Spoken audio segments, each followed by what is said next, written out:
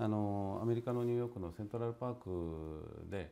まあ、リスが遊んでる姿を見てでちょうどそこの木がレッドオークだったんですね。でそのレッドオークはとっても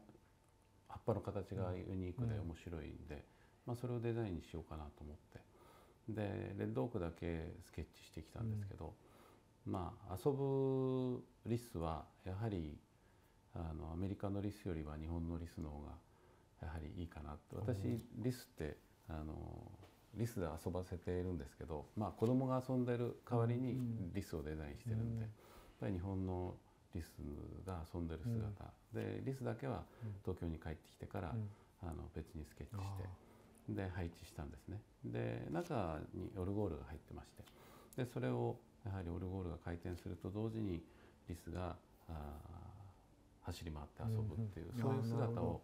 表情として、あの表現しようとして。であのレッドオークのほとんどの金粉はやっぱりヤスリ粉をベースにしてます。でやっ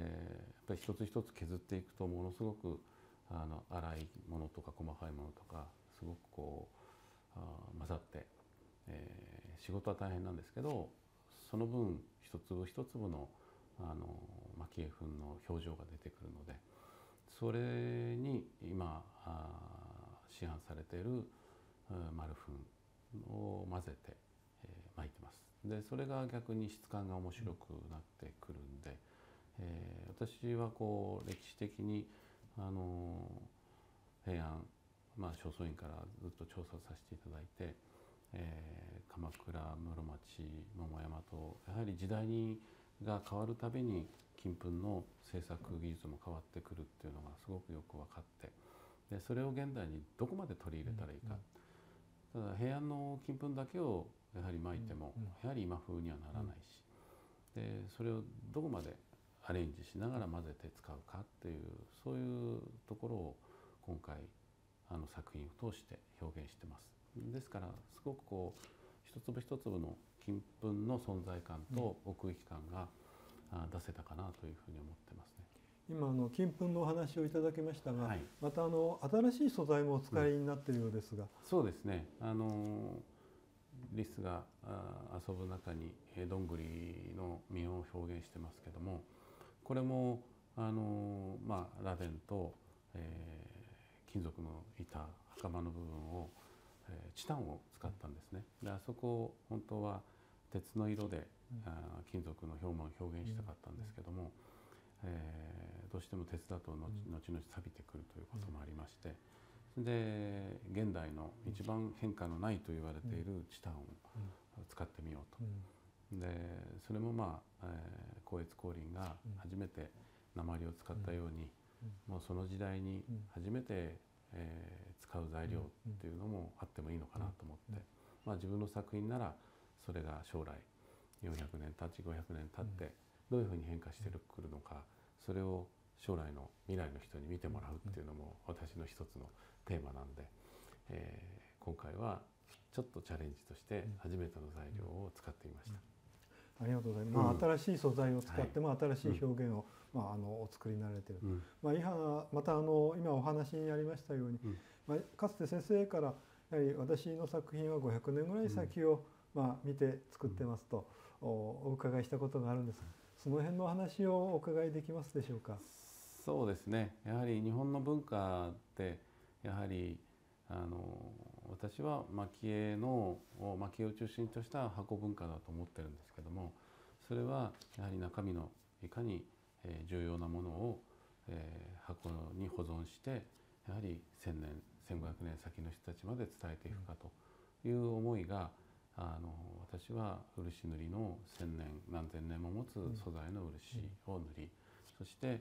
1,000年1,300年持つ研ぎ出し蒔絵という技術でそれを装飾してこれだけ中には素晴らしいものが収まるんですよっていうことを外観で見せていく。しかもそれは千年単位で名を持ちさせて、え将来の人にまでその時代の文化を伝えていく。やはりそういうことが日本の重要な重要な私は思いっていうか価値観っていうかねそういうものだと思いましてで私もできることならばはり500年あるいは1,000年先の方たちまで、えー、今の時代を作ったものを、やはりそれを見ていただいて、そのメッセージとして伝えられたら、まあありがたいと思いながら作ってます。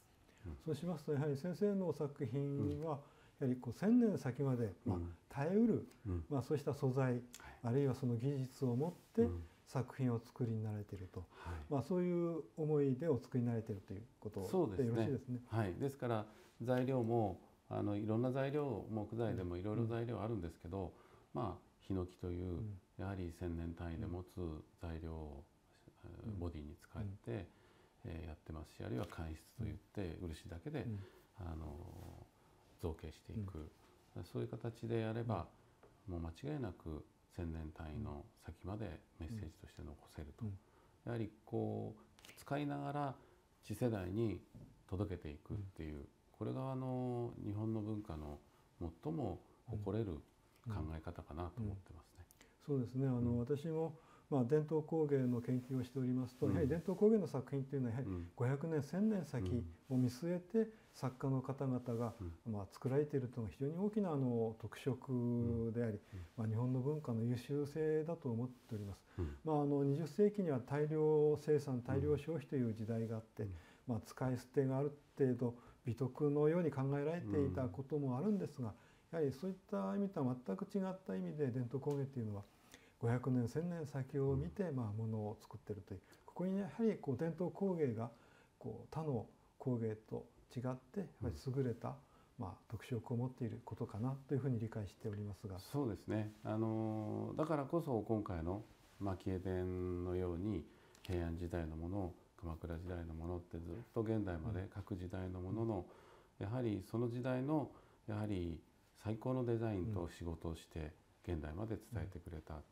そういうメッセージを各時代のものから頂いてもらえると、あの見方もすごく面白い見方ができるなっていう気がしてます。うん、ありがとうございます。うん、そうまあそういった意味でもまあ今回は平安時代から現代まで、うん、あの作品を並べておりますので、まあ各時代の、まあ特色をそれぞれまあご覧いただいて、まあ楽しんでいただける、ね、まあこうしたまあ展覧会に、えー、なってほしいと、はい、まあ主催者といたしてましてまあそのように思っております。はい、私も楽しみにしてます、はい、本日ありがとうございました。ありがとうございました。